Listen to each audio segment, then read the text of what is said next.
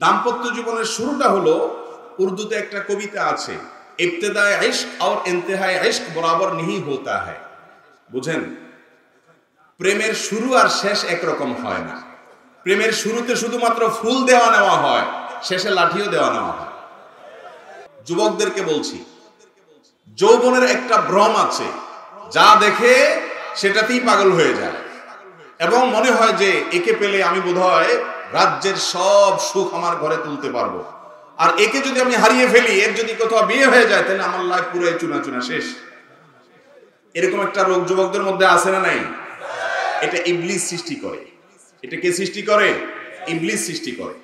এবং আমাদের সমাজে যে প্রবণতা আজকাল চলছে, আমি সব সময় বলি, এবং এই কথা সমাজের আরও অনেকেই বলেন, যে আজকাল বিয়ে সাধারণত মানুষের সাথে মানুষের খুব কম হয়। বিয়ে হয় ময়দার বস্তার সাথে টাকার বস্তা। আমি একটি টপিকের উপর, একটি বিষয়ের উপর কয়েকটি কথা আরজ করতে চাই, আর এই বিষয় নিয়ে আমার কথা বলার স্বপ্ন, শখ, ইচ্ছা, পরিকল্পনা বহুদিন থেকে। বিষয়টি হলো, আল্লাহ রব্বুল আলমিন এই পৃথিবীকে আমাদের সুখ বা ভোগের আসল জায়গা রাখেন নাই। দুনিয়াতে যতটা সুখ হয়, যতটা ভোগ হয়, যতটা আনন্দ হয় এগুলো সবগুলো হলো জান্নাতের আনন্দ, জান্নাতের ভোগ, জান্নাতের যে সুখ, তার একটা সাধারণ স্যাম্পল মাত্র, নমুনা মাত্র। জান্নাতের ভোগের সাথে এর কোনো তুলনা চলে না। এই দুনিয়াতে আল্লাহ রব্বুল আলমিন কাউকেই নির্মল এবং সকল নিষ্কণ্টক, সকল জঞ্জাট মুক্ত সুখ আল্লাহ তালা কাউকেই পরিপূর্ণ দেন না। এই পৃথিবীতে সকল চাহিদা, সকল চাওয়া কি সকলের পূরণ হয়? কোন মানুষের চাওয়া শতভাগ চাওয়া, সকল চাওয়া, এটা কখনোই পূরণ হয়, হতে পারে না।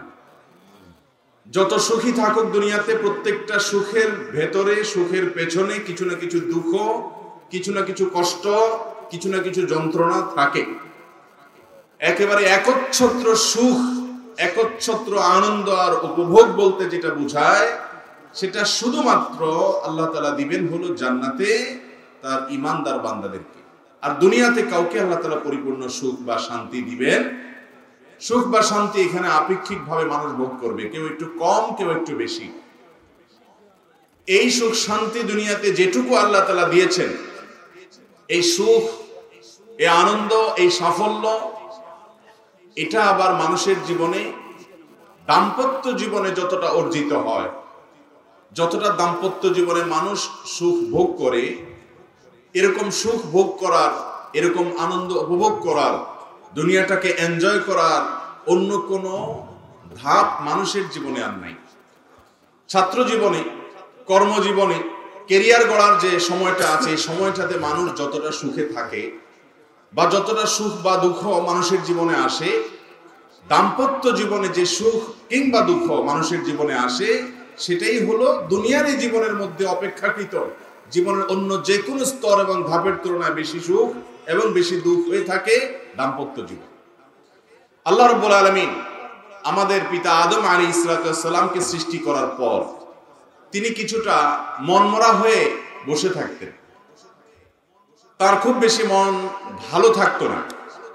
আল্লাহ রব্বুল আলমিন তার মনের সন্তুষ্টির জন্য, তাকে আল্লাহ রব্বুল আলমিন সঙ্গ দেওয়ার জন্য এবং তার জীবনে সুখকে ষোলো কলায় পরিপূর্ণ করার জন্য দান করলেন।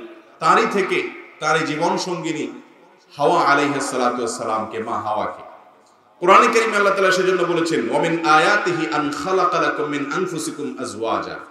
আল্লাহর কুদরতের যে সমস্ত নিদর্শনা সাক্ষী আছে তোর মধ্যে থেকে একটা হলো যে তোমাদের মধ্য থেকেই তোমাদের স্ত্রীদেরকে আল্লাহ তালা সৃষ্টি করেছেন। কেন সৃষ্টি করেছেন? লিতাস কোনো ইলাইহা।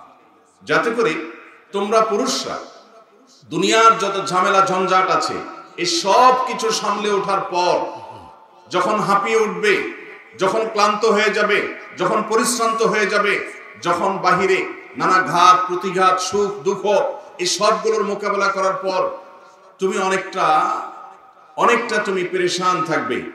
তোমার দরকার একটু বিষাদ, তোমার বিষাদ এবং ক্লান্ত দূর করা।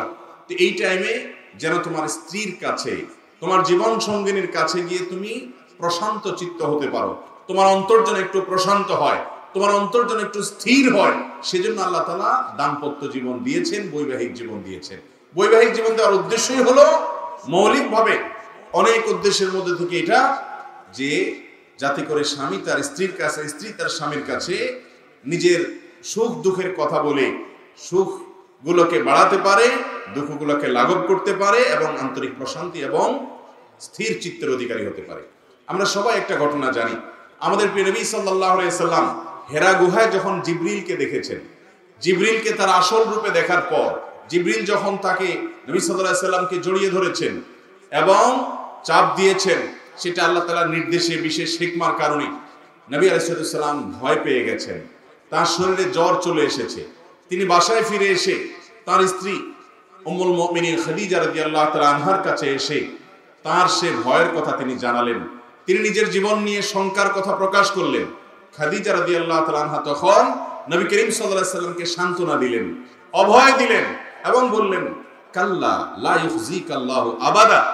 আপনি কেন নিজেকে নিয়ে পরেশান হচ্ছেন চিন্তিত হচ্ছেন? আল্লাহ আপনাকে কখনো অপমান করবেন না অপদস্থ করবেন না ক্ষতিগ্রস্ত করবেন না। এই যে খাদিজা রাদিয়াল্লাহু তাআলার কাছে এসে নবী করিম সাল্লাল্লাহু আলাইহি সাল্লাম তার কষ্টের কথা, তার দুঃখের কথা, তার ভয়ের কথা, পেরেশানির কথা জানালেন। স্ত্রী হিসাবে তিনি তার সেই পেরেশানি দূর করার জন্য সহায়ক ভূমিকা পালন করলেন। আর এই জন্যই আল্লাহ রাব্বুল আলামিন দাম্পত্য জীবন দিয়েছেন। দুঃখজনক হলেও সত্য, আমাদের সমাজের বাস্তব যে রূপ এবং চিত্র আজকাল আছে তা হলো যে দাম্পত্য জীবনে যে সুখ, যে শান্তি আমাদের আসার কথা, সে কাঙ্ক্ষিত সুখ বা শান্তি আজকাল দাম্পত্য জীবনে ততটা আসছে ঘরে ঘরে দাম্পত্য কলহ লেগে আছে। এমন কোন সংসার পাওয়া কঠিন হবে? খুবই কঠিন। যে সংসারে দাম্পত্য কলহ নিয়মিত লেগে থাকেন।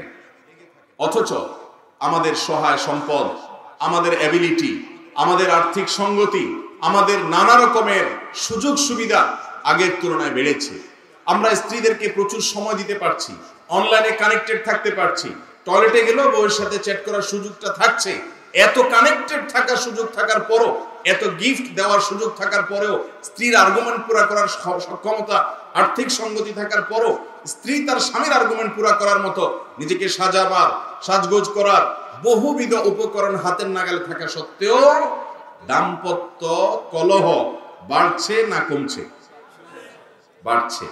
ঘরে ঘরে বিবাহ বিচ্ছেদের গুনগুনানি, বিবাহ বিচ্ছেদের নির্মম আওয়াজ শোনা যাচ্ছে কি যাচ্ছে না?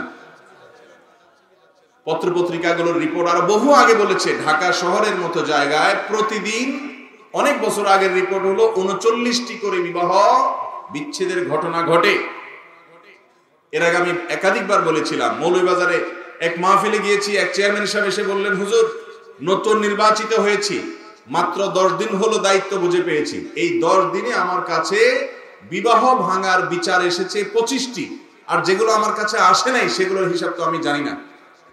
তাহলে দাম্পত্য সম্পর্কগুলো কত ঠুনকো হয়ে যাচ্ছে? স্বামী স্ত্রীর মধ্যকার সম্পর্ক কত দুর্বল হয়ে যাচ্ছে? পরিবারগুলো কীভাবে ভেঙে খান খান হয়ে যাচ্ছে? পারিবারিক শান্তি কীভাবে দূর হয়ে যাচ্ছে? সেটা আজ আমাদের চিন্তা করার বিষয়। মোহতারাম হাজরিন, আমি আগেই বলেছি, এই পৃথিবী নির্মল সুখের কোনো জায়গা না। এখানে যে যত বড় ক্ষমতার মালিক হোক, যে যত বড় সম্পদের মালিক হোক, তার সুখের মধ্যে কোনো দুঃখের লেশ থাকবে না। এটা কোনোদিনই সম্ভব নয়। এখানে মানুষ ভোগ করবে, ভোগের পেছনে কষ্ট থাকবে, গোলাপের পাশাপাশি কাঁটা এখানে থাকে। অতএব এই দুনিয়ার জীবনে নির্মল সুখ নাই। এরপরও আল্লাহ তালা সুখ বলতে কিছু যদি মানুষকে দেন, শুধু সুখ নয়, দুঃখ যেটা মানুষের জীবনকে শেষ করে দিতে পারে, সেটা যদি মানুষের জীবনে হয় দাম্পত্য জীবনে। দাম্পত্য জীবনের সময়টার উপর নির্ভর করে বলা যায় একটা মানুষ সুখী না দুঃখী। দাম্পত্য জীবনের আগে অথবা স্ত্রীর মৃত্যুর পরের যে জীবন আছে, এই জীবনটাকে খুব একটা মূল্যায়নে আনা হয় না যে এটাতে সে সুখী না দুঃখী। অতএব যারা বিবাহ করেছেন, যারা বিবাহ করবেন, উভয়ের জন্য কমন কিছু বার্তা আছে ভাই। কোরআন এবং হাদিসের আলোকে দশটি টিপস দিতে চাই, দশটি পরামর্শ দিতে চাই কোরআন এবং হাদিসের আলোকে। যে পরামর্শগুলো যদি আমাদের জীবনে বাস্তবায়ন করা যায়, দাম্পত্য জীবনে আল্লাহ তালা আমাদেরকে সুখ এবং শান্তি দিবেন ইনশা আল্লাহ মোহতরাম হাজরিন, দাম্পত্য জীবনে যদি কেউ সুখী হয়, তাহলে এই ব্যক্তি সুখী। একজন মানুষ ছাত্র জীবনে হয় খুব বেশি সুখী ছিলেন না। হয়তো তার কেরিয়ারটা খুব ভালো করে তথাকথিত সমাজ যেটাকে গড়ে তোলার কথা বলে, সেরকম কেরিয়ার গড়ার সুযোগ তিনি পান নাই। চাকরি জীবনে হয়তো তিনি খুব বেশি মোটা অঙ্কের স্যালারি পান না, ভালো কোনো পদ পান নাই প্রমোশন হয় নাই।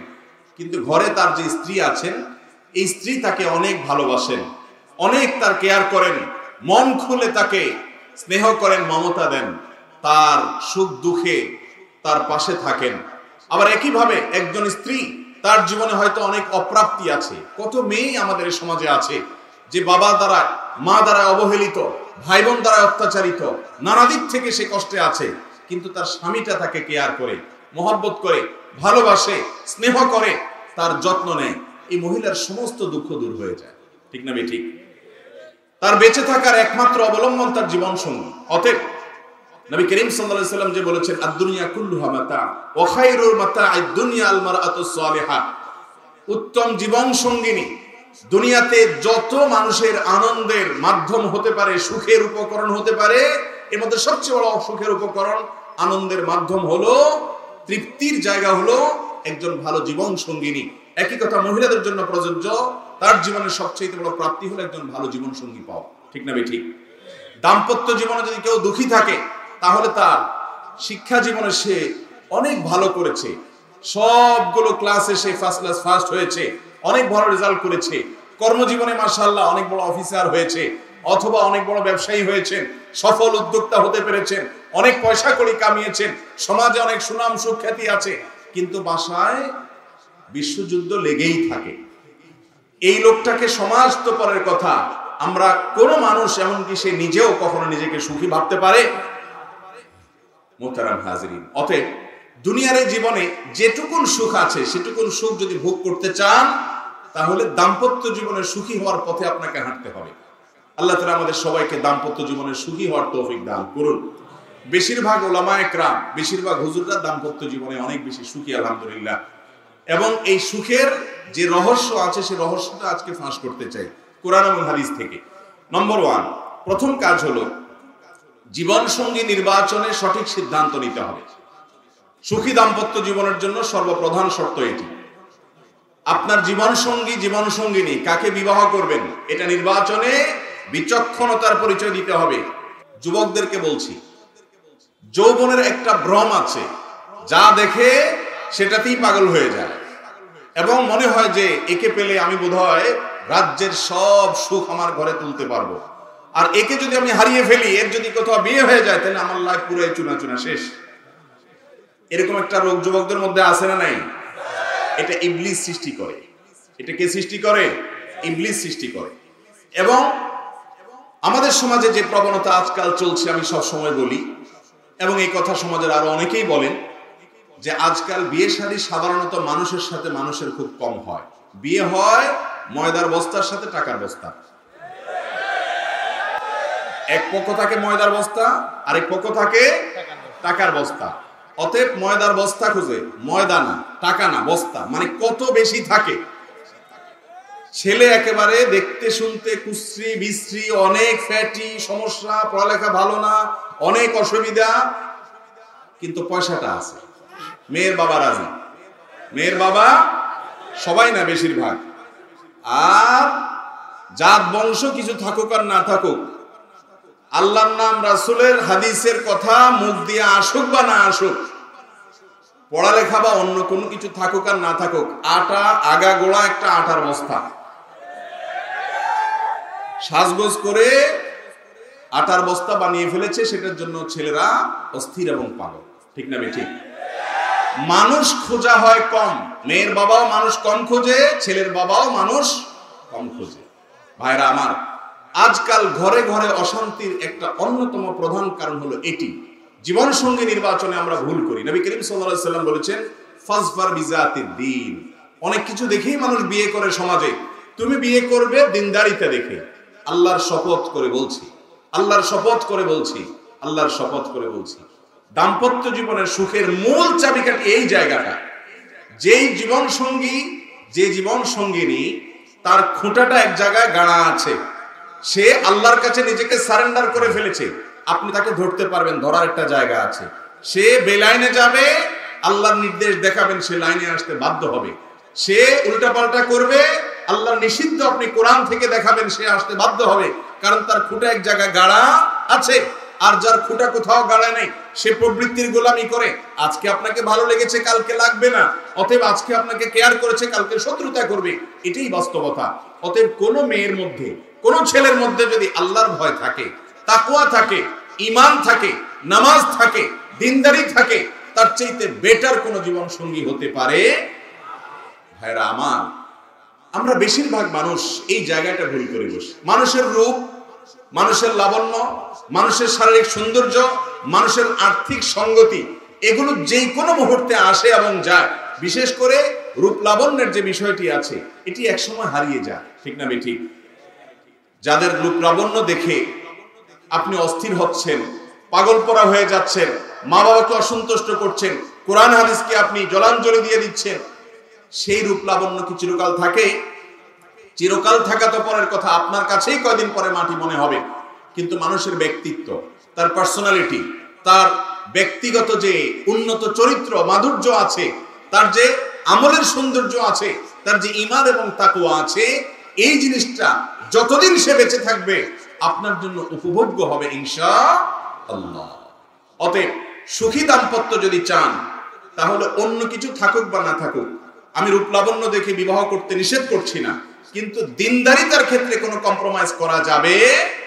আজকাল একটা ফেতনা শুরু হচ্ছে, সেটা হলো ময়মুরব্বী এলাকাবাসী বন্ধু বান্ধব আত্মীয় স্বজনরা আপনাকে বলবে, মেয়ে নামাজ পড়ে না, কোরআন পড়তে জানে না, তো কি হয়েছে? তুমি মানুষ করে নিবা। বলে কি বলে না? আবার একই কথা মেয়েকে বলে, অনেক মেয়েরা আছেন, দিনদার ছেলের সাথে বিয়ে বসতে চান, কিন্তু মা বাবা ওই যে টাকার বস্তা একটা ধরে নিয়ে এসে এরপরে বলে যে টাকার বস্তাটাকে তুমি আস্তে আস্তে নামাজি বানায় নিবা, সমস্যা কোথায়? তার মানে দুনিয়াটা আগে ঠিকঠাক থাকুক, এরপর আখরাতটা টুকটাক যা আসে আসুক। ঠিক না ঠিক অথচ হওয়া দরকার ছিল যে তার মধ্যে টাকা, পয়সা, এগুলো এখন নাই। হয়ে যাবে এক সময়।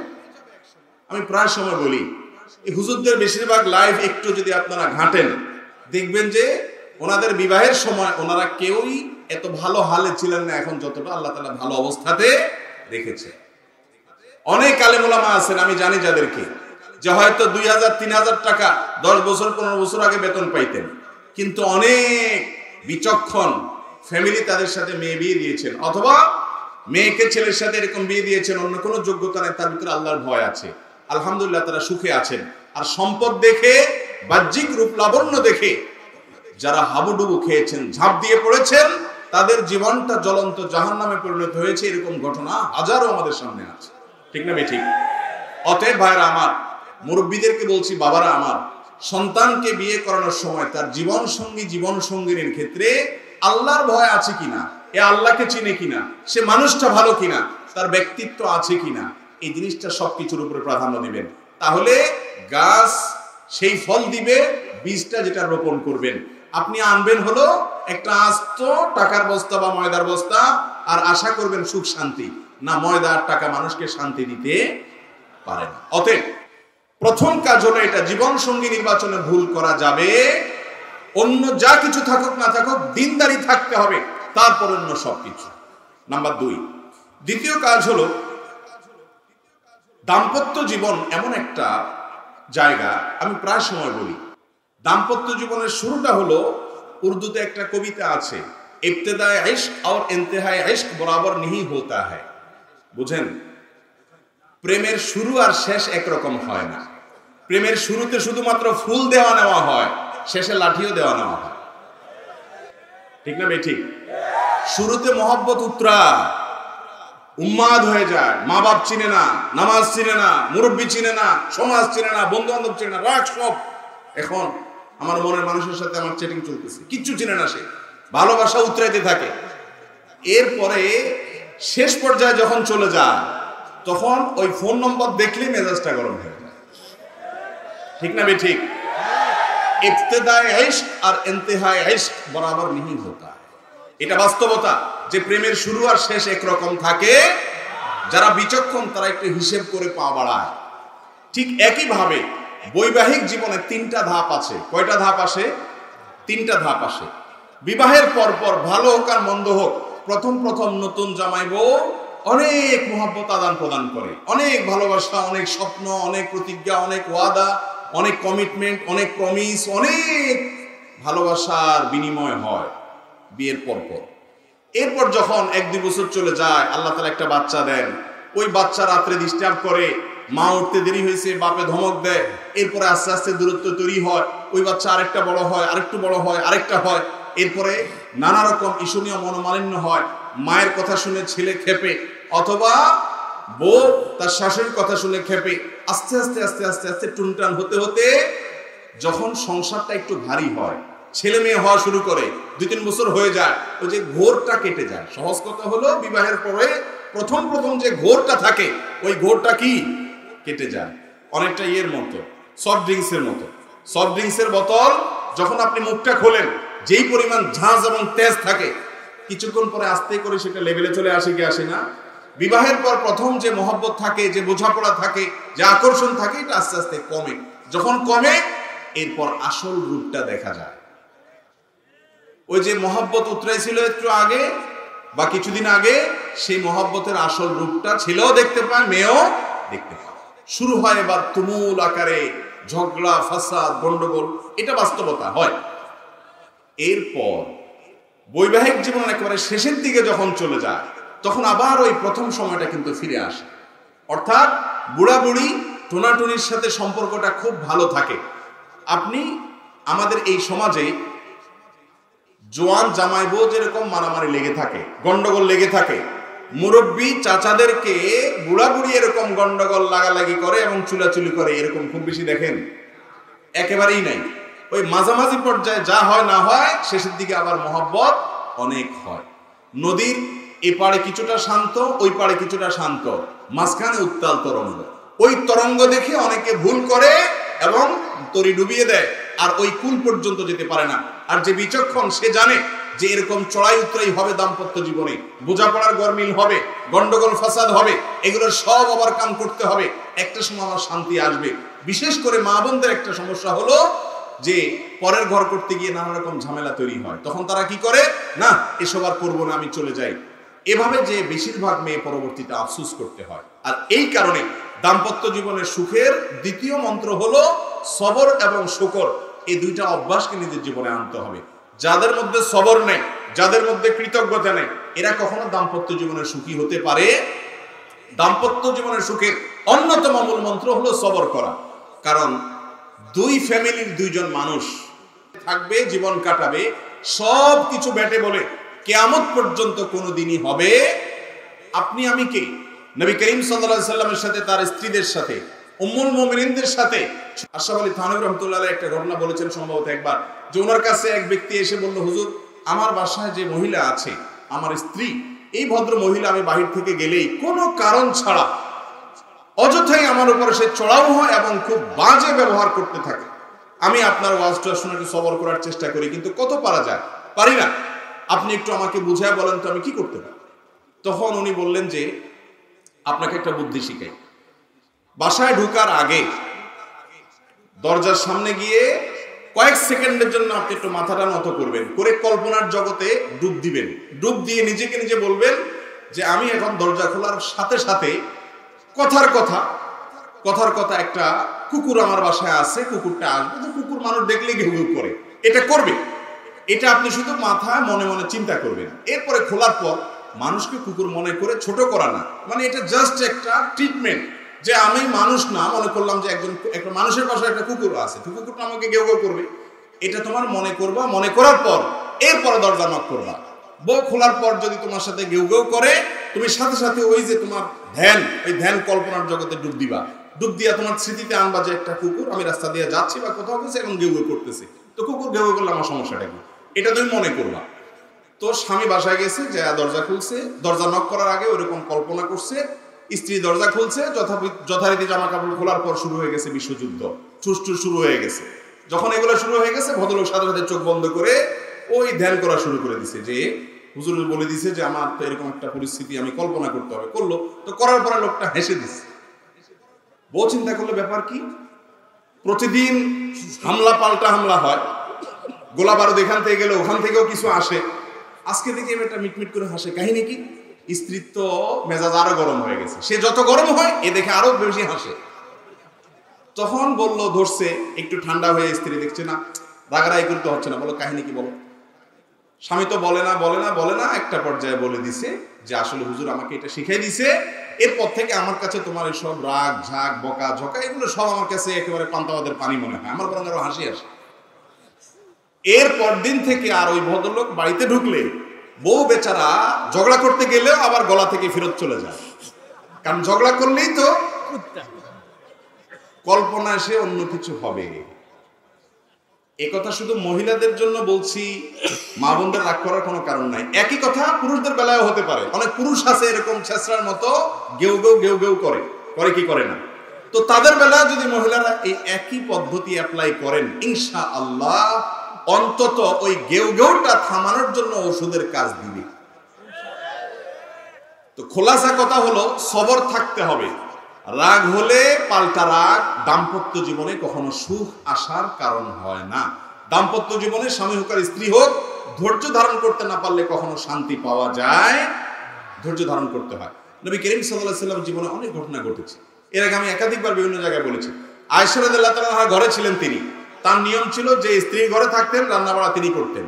অন্য স্ত্রী এক বাটি খাবার দিয়ে একটা কাজের মেয়েকে পাঠাইছে।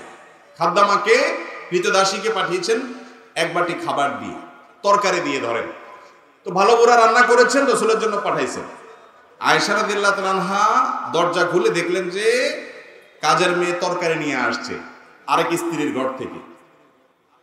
এই টাইমে যে কোনো মানুষই যে কোনো মহিলারই মাথা গরম হওয়ার কথা। আমার বাসায় আজকে উনি থাকবে, আমি যা খাওয়াবো, তুমি আবার ওখান থেকে এক বাটি দিয়ে ভালো হওয়ার চেষ্টা করতেছো। উনি বাটিটা ধরে ছুঁড়ে ফেলে দিলেন। ছুঁড়ে ফেলে দিলেন। বাটির সব তরকারি তো গেছে গেছে, বাটিও দুই টুকরা হয়ে গেছে। কাঁচের বাটি ছিল। এই দৃশ্য নবী করিম সাল্লাম দেখার পর উনি বাইরে হয়ে আসলেন। যা উঠান থেকে নিজের হাতে সে ভাঙা বাটিটা নিয়ে আসলেন। আনার পর একই শেপের, একই ধরনের আরেকটা বাটি এই ঘরেও ছিল আসলে তারা ঘরে।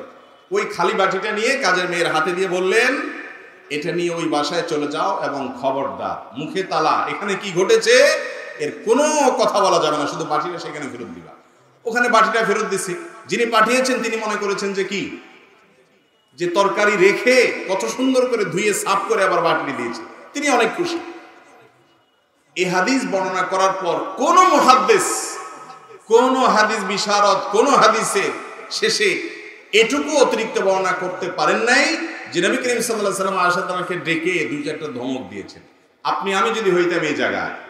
আর কিছু না হোক বোর্ড দিকে তাকায়া অন্তত বিরক্তির সুরে এটুকু তো বলতাম যে, এটা কাজ করলা তুমি? বাটিটা ভেঙে ফেললা? তুমি তরকারি না নিতে বাটিটা ভেঙে ফেললা? নবী করিম সাল্লাহ সাল্লাম একটি কথাও বলেছেন বলে কোনো বর্ণনা পাওয়া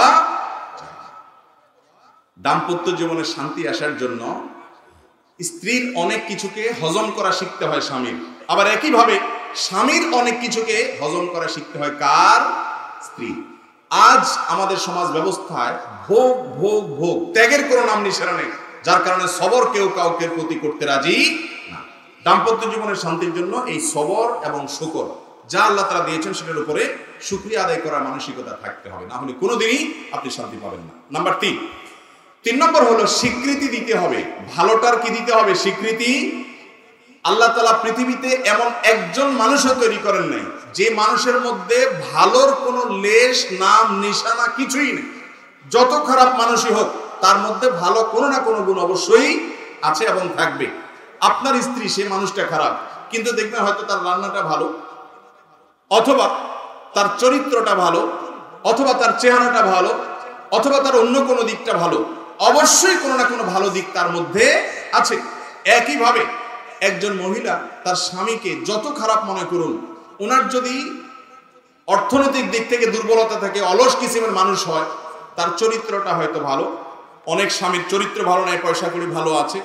আবার চরিত্রটা যদি খারাপ হয়, হয়তো তার হক আদায়টা করে, এক্ষেত্রে ত্রুটি করে না, অথবা অন্য কোনো না কোনো দিক থেকে গুণ আছে। একেবারে কোনো গুণ নাই এমন কোনো মানুষ আল্লাহ সৃষ্টি করেন নাই। দাম্পত্য জীবনে, বৈবাহিক জীবনে যদি শান্তি পেতে চান, তাহলে স্বামী হলে স্ত্রী স্ত্রী হলে স্বামীর ভালো গুণগুলো আবিষ্কার করার চেষ্টা করতে হবে। নবী করিম সাল্লাহ সাল্লাম এই পলিসি বাতলাইছেন। তিনি বলেছেন, তুমি তোমার জীবন সঙ্গিনীর কোন কর্মে যদি অসন্তুষ্ট হও, তার অনেক কাজ আছে যেগুলো তুমি সন্তুষ্ট হতে পারো। তুমি সেগুলোর কল্পনা করবে, ধ্যান করবে, চিন্তা করবে, দেখবে যে তোমার দুঃখ, কষ্ট হয়ে, এগুলো দূর হয়ে যাবে এবং তার ব্যাপারে তোমার প্রশান্তি আসবে। দাম্পত্য জীবনে বেশিরভাগ ঘরে সংসারে অশান্তি হয় তখন যখন স্বামী তার স্ত্রীর কোনো কিছুর মূল্য দিতে রাজি না, স্ত্রী তার স্বামীর কোনো কিছুর স্বীকৃতি দিতে রাজি না। অনেক মহিলা আছে স্বামীকে সারাদিন দৌড়ের উপর রাখে, তোমার মতো মানুষ দুনিয়াতে আছে? তোমার মতো পাগল ছাগল দুনিয়াতে আছে? আমার কপালে যে কি হলো? এরকম কপাল পড়া দুনিয়াতে কয়টা মহিলা আছে? সামনে এগুলো বলে। কিন্তু স্বামী যখন চলে যায়, অন্যদের সামনে, বিশেষ করে বাপের বাড়ির লোকদের সামনে যখন কথা বলে, তখন গল্প দেয় এমন ভাবে যেন তার স্বামীর মতো এরকম যোগ্য পুরুষ এত ভালো মানুষ দুনিয়াতে আর দ্বিতীয়টা আছে না না এরকম? একই কথা অনেক পুরুষের আছে। যে সামনে দেখা যায় দুনিয়ার বউকে তাচ্ছিল্য করে, তুচ্ছ করে, ছোট করে, কিন্তু বাইরে যায় ঠিকই নিজের ভাবটা জাহির করার জন্য গল্প দেয়। আছে না নাই? এটা হলো একজন ফাসেক মানুষের চরিত্র। ইমানদারের চরিত্র হলো দাম্পত্য জীবনে একে অন্যের সামনে তার স্বীকৃতি দিবে, ভালো গুণটা বলবে, তাতে ইনশাল্লাহ তার মধ্যে সংশোধন আসবে। বিশেষ করে স্ত্রীদের ব্যাপারে পুরুষদের প্রশংসা করার মতো কার্যকর কোনো ঔষধ আর দ্বিতীয়টা নেই। নিয়মিত যদি বইয়ের হাতে ভালো বুড়া রান্না খেতে চান, নিয়ম করে, রুটিন করে, সিস্টেম করে, একদম ডায়েরি মেনটেন করে প্রশংসা করেন, আপনি নিশ্চিত থাকেন ইনশাল্লাহ আপনার দিনকাল অন্তত এই ক্ষেত্রে ভালো যাবে। ঠিক না ঠিক? যে সমস্ত স্বামী বৌদের রান্নার দোষ ধরে, বাহিরে খেয়ে এসে বাসায় গল্প দেয়, এদের কপাল খারাপ। এরা ভবিষ্যতে ওই বইয়ের হাতে ভালো বুড়ো খাওয়ার সম্ভাবনা খুব ক্ষীণ। আর ভালো হোক, মন্দ হোক, যতক্ষণ পর্যন্ত আপনি পরিতৃপ্তির কথা জাহির করবেন, অবশ্যই কোনো ভালো দিক আছে, একটু প্রশংসা করবেন, দেখবেন ইনশাআল্লাহ দিনটা ভালো যাবে। বিশেষ করে স্বীকৃতি, এটা মানুষ চায়। দাম্পত্য জীবনে বেশিরভাগ মানুষ স্বীকৃতি দিতে চায় না। স্বামী হলে স্ত্রীর স্ত্রী হলে স্বীকৃতি। স্ত্রী হলে স্বামীর। যতটুকু পাইছেন ততটুকু স্বীকৃতি দিবেন, তাহলে ইনশাআল্লাহ দাম্পত্য জীবনে সুস্কৃতি আসবে। নাম্বার চার চার নম্বর হলো স্বামী স্ত্রী প্রত্যেকের কিছু কনসার্নের ইস্যু আছে। কিছু ইস্যুতে তার খুব কষ্ট হয়। সেই ইস্যুগুলোকে আমলে আনা। যেমন, মহিলাদের একটা বিষয় আছে। তাদের বাপের বাড়ির কাউকে নিয়ে যদি আপনি একটু দুর্নাম করেন, যে তোমার ভাইটা অমানুষ, অকর্মা, তোমার বাপটা এরকম, তোমার বোনটা এরকম, তাহলে শেষ। হয়তো উপর দিয়ে কিচ্ছু বলবে না। শুনে আপনার সাথে তাল মিলাবে হওয়া তুমি ঠিকই বলছো। কিন্তু পরবর্তীতে ঠেলা আপনি সুদে আসলে বুঝবেন। ঠিক না ভাই? ঠিক। আপনি যদি শ্বশুর বাড়ির লোকদের শুধু তারিফ করেন, তাদের ভালো গুণগুলো শুধু বলেন। সারাদিন বলেন যে আমার শালা মাসাল্লাহ তোমার বোনটা এরকম মাসাল্লাহ সে বদনামি করবে, আপনি বলবেন, না না না, তুমি কি বলতেছো? তার দোষের চাইতে গুণ অনেক বেশি মাসাল্লাহ উল্টা বরং এক কাঠি সামনে আগাবেন। দেখবেন যে, স্ত্রী আপনার কথায় উঠবে, বসবে, যা বলবেন সব করতে রাজি হবে। কিন্তু তার বাপের বাড়ির মানুষের বদনামি করতে পারবেন। অনেক পুরুষরা এই জায়গাটা ভুল করে। ঠিক একইভাবে আবেগের মূল্য দেওয়া। ডক্টর খন্দকার আবদুল্লাহ জাহাঙ্গীর রহমাল্লাহ একটা কথা বলতেন। উনি বলতেন যে, মহিলাদেরকে আল্লাহ রব্বুল আলমিন প্রচুর পরিমাণ আবেগ দিয়ে সৃষ্টি করেছেন। তাদের মধ্যে যত আবেগ আছে, আমাদের পুরুষদের মধ্যে এত আবেগ নাই। আবেগ বেশি কেন? কারণ সারাদিন কাজ করেছে। অনেক রাত হয়েছে ঘুমাইতে ঘুমাইতে। এরপর রাতে একটু চোখটা শুধু লেগে আসছে, আর বাচ্চাটা পেশাব করে দিস সব ভেসে গেছে। অথবা চিৎকার করে কেঁদে উঠছে। মা হিসাবে তার ঘুম ভেঙে উঠে যেতে হয়। যেই মা ঘুম পাগলে মা, ঘুম ছাড়া কিচ্ছু বুঝে না। এই রকম মাও ওই শিশুর কান্নার আমাদের ঠিকই ঘুম ভেঙে যায়। বাপ বিরক্ত হয়ে কই মাছের মাথা চাবানোর মতো এরকম করতে করতে উঠে হয়তো আরেক রুমে চলে যায়। মা ঠিকই বাচ্চা নিয়ে পড়ে থাকে। কিসের ভিত্তিতে পারে? তার মধ্যে আবেগ আছে। তার মধ্যে কি আছে? আবেগ আছে, ভালোবাসা আছে, আপনার চাইতে বেশি আছে। যার বুকে আবেগ বেশি থাকে, ওই ব্যক্তির রাগটাও এরকম তাড়াতাড়ি হয়। অতএব স্ত্রীর রাগগুলোকে হজম করার মানসিকতা থাকতে হবে, কারণ সে বুক ভর্তি ভালোবাসা দিয়ে আপনার সন্তানদের মানুষ করছে। আবেগ অনেক বেশি আছে এই জন্য রাগটা একটু বেশি। হজম করার চেষ্টা করতে হবে। দাম্পত্য জীবনে তার কষ্ট হয়, এরকম কোনো বিষয় করা যাবে না। একই কথা মহিলাদের জন্য প্রযোজ্য যে স্বামী কোন কথা একটু খেপে অনেক পুরুষ আছেন, তার মায়ের কোনো দোষ ধরলে তার মেজাজটা গরম হয়ে যায়।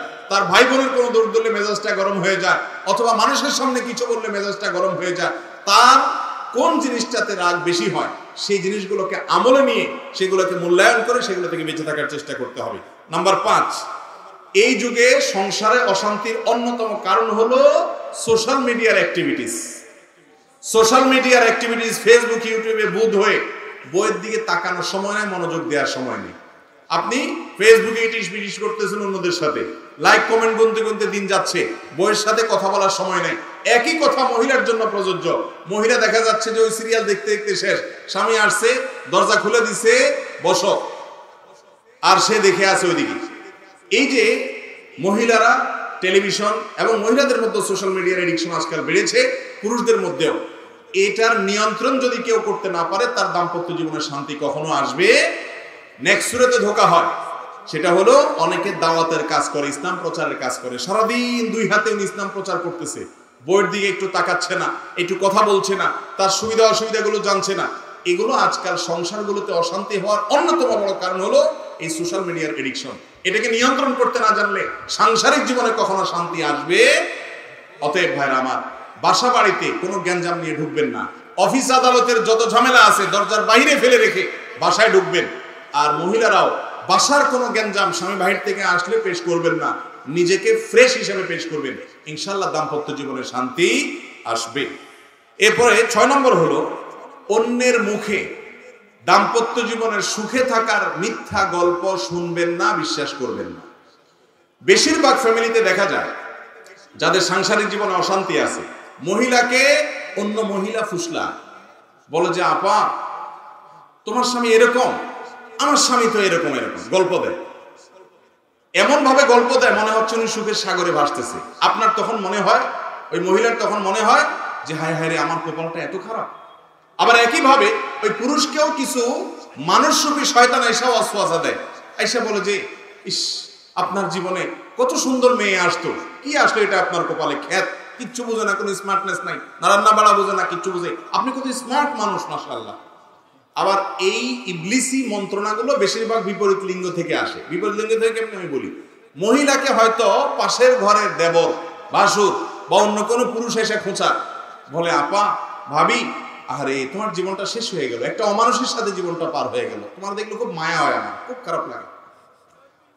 আবার একই কথা একই কথা পুরুষকে তার অফিসের হয়তো মহিলা কলিগ বলে যে, ভাবি, ভাবিকে আপনার সাথে মানায় না আসলে। খুব স্যাড আছে না নাই? এগুলো দেখতে মানুষ হলে এগুলো মূলত ইবলিস। এগুলো মূলত কি? যারা বোকা, তারা এই ইবলিসীয়, মানুষরূপী ইবলিসদের কুমন্ত্রণা শুনে মনে করে হারে আসলেই তো আমি তাহলে অনেক কষ্টে আছি। সে মনে অনেক সুখে আছে। যেই বেটা এই গল্প দিয়েছে, ওর সংসারে যে পরিমাণ অশান্তি হয়, যে পরিমাণ বিশ্বযুদ্ধ লেগে থাকে, ও অনেক বড় শিয়ানা। আপনার কাছে এমন ভাবে সাজে যেন তাদের দাম্পত্য জীবনে খুব বেশি সুখী। আপনি আপনার বউয়ের সাথে ডেইলি যতবার চুলাচুলি করেন, তার তিন গুণ কমপক্ষে ওর বাসায় হয়। কিন্তু সে আপনার সামনে ভাব ধরে এমন। তো এই ব্যাপারে বিচক্ষণতার পরিচয় দিতে হয়। মনে রাখবেন, অনেক সময় দেখা যায় যে, কই, তারা তো অনেক ভালো, অনেক হাসি খুশি ভেতরে ত্রাস হয়ে যাচ্ছে, আপনি জানেন না। এই জন্য অন্যের সুখ দেখে বা সুখের মিথ্যা গল্প শুনে বেশিরভাগ নারী পুরুষরা বিষয়ে স্বামী স্ত্রীরা ধোকা পড়ে যায়, এটা যেন না হয়। সাত নম্বর হলো ক্ষমা করতে শিখতে হবে ভাই। দাম্পত্য জীবনে ক্ষমা করা ছাড়া কোনো বিকল্প নারী পুরুষ উভয়ের ভুল হবে। দুইটা পাতিল একসাথে থাকলে টুনটান লাগবেই। সমস্যা হবেই জ্ঞানজাম হবেই, কিন্তু আপনাকে ক্ষমা করা শিখতে হবে। আল্লাহ তালা কোরআন কারিমে বলেছেন যে আল্লাহ তালা ক্ষমাশীলকে ভালোবাসেন। আল্লাহ তালা মানুষকে যারা ক্ষমা করে তাদেরকে পছন্দ করেন। আপনি যদি চান যে আল্লাহ আপনাকে পছন্দ করুক, আপনি তাকে ক্ষমা করা শিখতে হবে। অনেক পুরুষ আছে, বলে যে, না, আমার মাথা অনেক নষ্ট, মাথা অনেক গরম হয়ে গেছে, আমি এটা কোনোভাবে ছাড় দিতে রাজি না। এগুলো যখন বলে, তখন তিনি নিজেকে খুব পুরুষ পুরুষ মনে করে। আসলে ওইটা আদা মহিলা। আবার একইভাবে অনেক মহিলাও আছে যখন তেড়া হয়, এমন শক্ত হয় যেন তিনি দুনিয়ার কোনো কিছু ছাড় দিবেন না। এগুলো সবগুলো হলো ভুল ভাইরা আমার। দাম্পত্য জীবনে একে অন্যকে ক্ষমা করা শিখতে হয় যে, ঠিক আছে, যা হয়েছে হয়েছে, আমি মাফ করে দিলাম। এই উদারতা দেখাইতে পারলে শান্তি আসবে, আর না হলে শান্তি আসবে না। আপনি নিজের ভিতরে ক্ষোভ জিয়ে রাখবেন, কষ্টটা আপনার হবে। ক্ষমা করে দিবেন ফ্রেশ টেস্টটা আপনার আসবে ইনশাআল্লাহ। নয় নম্বর হলো আল্লাহর কাছে দোয়া করতে হবে। কি করতে হবে ভাই? দোয়া করতে হবে। সুরায়ে ফোরকান আয়াত নম্বর চুয়াত্তর। জীবনের তরে পড়বেন। যারা বিবাহ করেন না এখন যুবকরা, এখন থেকে পড়েন। আমার বুঝ জ্ঞান হওয়ার পর থেকে এই আয়াত যেদিন আমি জানছি, ওর পর থেকে আজও পর্যন্ত, বিয়ে পর্যন্ত তো কন্টিনিউয়াসলি পড়তেছি, এরপরেও পড়ি। এই দোয়াটা কখনো ছাড়বেন না। রব্বানা হাবলানা মিন আজওয়াজিনা ওয়া যুররিয়াতিনা কুররাতা আয়ুন ওয়াজআলনা লিল মুত্তাকিনা ইমামা। আল্লাহ, আমার সন্তান এবং পরিবারকে আপনি এমন বানিয়ে দেন যেন তাদের দিকে তাকালে আমার চোখ জুড়ে যায়। নয়ন জুড়িয়ে যায়, শান্তি হয়, দিলটা ভরে যায়, এরকম পরিবার আমাকে দিন এই দোয়াটা আল্লাহর কাছে করবেন এবং আল্লাহ যেন আমরা মুত্তাকিদের ইমাম হতে পারি, এই দোয়া করবেন। বেশি বেশি এই দোয়া করবেন, সাধারণভাবে স্ত্রী, স্বামীর জন্য, স্বামী স্ত্রীর জন্য আল্লাহর কাছে দোয়া কবরের সময়গুলোতে দোয়া করবেন। এর মাধ্যমে ইনশাআল্লাহ দাম্পত্য জীবনে শান্তি আসবে। সর্বশেষ এবং দশ নম্বর পয়েন্ট হলো, বাসা বাড়িগুলোতে আজকাল, আমার ব্যক্তিগত অবজারভেশন হলো, গত এক দুই বছর পর্যন্ত আমি দেখেছি, ঘরে ঘরে দুষ্টজিন এবং জাদুগ্রস্ত মানুষের সিরিয়াল পড়ে গেছে। ঘরে ঘরে, বিশেষ করে দাম্পত্য জীবনে অশান্তি লাগানোর জন্য জাদুটা খুব কুইকলি কাজ করে। জাদু সম্পর্কে কোরআন কারিম আল্লাহ তালা যে কয়টা আয়াত নাজিল করেছেন, হারত মারুতের বাবিলের যে ঘটনা আল্লাহ উল্লেখ করেছেন, সেগুলোর মধ্যে মূল বিষয় যে কয়েকটা তার প্রধান হলো, অন্যতম হলো যে দাম্পত্য জীবনে অশান্তির জন্য জাদুকে ব্যবহার করা হয়। আমাদের দেশে ঢাকা শহরে দেখবেন পিলারে পিলারে তান্ত্রিক অমুক কামরূপ কামাখ্যা থেকে প্রশিক্ষণ প্রাপ্ত দেখেন নাই? ফেসবুকে পোস্টগুলোতে দেখবেন কমেন্ট আমি এরকম কমেন্ট দেখলে আগে ব্লক করি ওইটাকে, বিসমিল্লাহ করি। এগুলো সবগুলো হলো এই সমাজের অনেক বড় মাপের ক্রিমিনাল আমি সবসময় বলি, আমাদের দেশের আইন শৃঙ্খলা রক্ষাকারী বাহিনী যারা আছেন, তাদের উচিত এই সমস্ত তান্ত্রিক লোকগুলোর ব্যাপারে অবজারভেশন করে স্টাডি করে, এদেরকে আইনের আওতায় আনা। ঘরে ঘরে অশান্তি সৃষ্টি করছে। জাদু এবং ব্ল্যাক ম্যাজিক করে করে সংসারে সংসারে খান খান করে দিচ্ছে, অশান্তি করে দিচ্ছে। গত সপ্তাহে এক দম্পতি আমার অফিসে এসেছেন। ওনারা বললেন যে, ভাই, আমরা একে অন্যকে এত ভালোবাসতাম, যেটা কল্পনাতীত ছিল। কেউ কাউকে ছাড়া আমরা বাঁচতাম না, এমন একটা অবস্থা ছিল। আর এখন মহিলাও বলতেছে যে, ওনাকে দেখলে আমার মনে হয় যে গায়ে আগুন জ্বালাই দিছে কেউ। আর স্বামীও বলতেছে, একই অবস্থা আমার হয়। এই ধরনের ঘটনা একটি নয়, আমার কাছে অহরহ আসছে যে দিনরাত পরিবর্তন হয়ে গেছে। বিশেষ করে অনেক হিংসুক শাশুড়ি আছেন, ননদ আছেন, দেবর আছেন, জাওর আছেন এবং প্রতিবেশী আছেন। এমনকি অনেক সময় আপন ভাই বেরাদারও আছে। তারা এই সমস্ত তান্ত্রিক কবিরাজের কাছে গিয়ে ব্ল্যাক ম্যাজিক করায়। এর কারণে দম্পত্য জীবনে অশান্তি হয়। এর হাত থেকে বাঁচার জন্য নিয়মিত সকাল সন্ধ্যার দোয়াগুলো পড়বেন। সুরা বাকারা নিয়মিত তেলাবাত বাসায় চালু করে রাখবেন এবং শোয়ার সময় তিনকুল পরে হাতে ফু দিয়ে গা মুছে তারপরে শোবেন। এগুলো সবগুলো হাদিসে শেখানো আমল। এবং বিশেষভাবে স্পেশালি আপনি সকাল সন্ধ্যার দোয়াগুলো পড়বেন বাসা বাড়িতে কয়েকটা কাজ করবেন বাসা যতবার ঢুকবেন, বিসমিল্লাহ পরে ঢুকবেন, বের হবেন, বিসমিল্লাহ পরে বের হবেন। টয়লেটে যাবেন, বিসমিল্লাহ ভুলে যাবেন না। টয়লেট হলো দুষ্ট জিনের, শয়তানের আখড়া। অতএব টয়লেটের দরজা কখনো বাসার ভিতরে টয়লেট অ্যাটাচ থাকলে খোলা রাখবেন না, দরজা বন্ধ করে রাখবেন, কোনো ছবি টাঙিয়ে রাখবেন না। এগুলো সবগুলো শয়তানের অন্যতম আখড়া হয়ে থাকে। এই সবগুলো থেকে যদি পরিচ্ছন্ন রাখতে পারেন। ইনশাআল্লাহ দুষ্টজিন এবং শয়তান এবং ব্ল্যাক ম্যাজিক থেকে আল্লাহ তালা হেফাজতে রাখবেন।